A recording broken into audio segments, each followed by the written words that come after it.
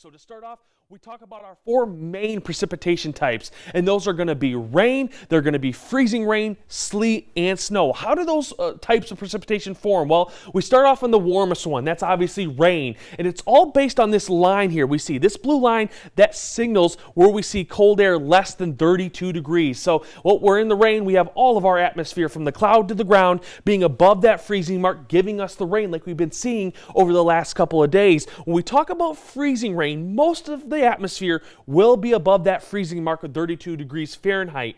But there will be areas at the ground that get below that freezing mark. So when the rain falls and it hits that freezing surface, it freezes on contact, similar to what we saw last year when it comes around uh, Christmas and what we could see at this time of year when we get those big temperature ranges upon the day. We talk about sleet. Uh, there will be a smaller layer of warmer air above that freezing mark that will form rain, will fall through that warm layer, but then we'll get below that freezing layer. Now, not all of that rain will freeze as it falls to the ground, but some of it will, and giving us sleet. And then when we get an atmospheric layer that's all below that 32 degree mark, well, that's where we see the form of snow. And that's what we see uh, obviously here in North Dakota all across the winter. And well, there is different types of snowflakes when it comes to snowfall. We have thin plates, we have needles, hollow columns, stellar plates, and dendrites. Well, we talk about temperatures to see the different types. When we're looking, sitting right around 30, uh, 25 to 32 degrees outside, that's when we'll see these thin plates form. We drop the temperatures a little bit more.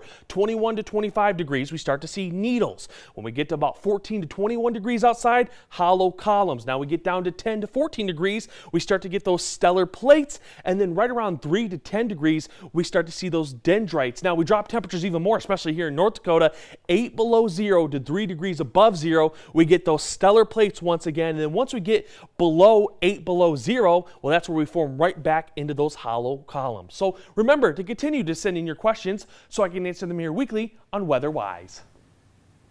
And you can do so by heading on over to kxnet.com.